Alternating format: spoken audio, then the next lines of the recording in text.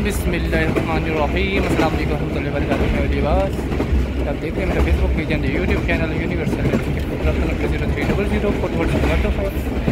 हम लाहौर से आए हैं जेलम लैंडस्केपिंग के लिए और अभी हम रास्ते में जा रहे हैं और ये है जी दरिया जेलम का व्यू माशाल्लाह से बड़ा खूबसूरत दरिया है।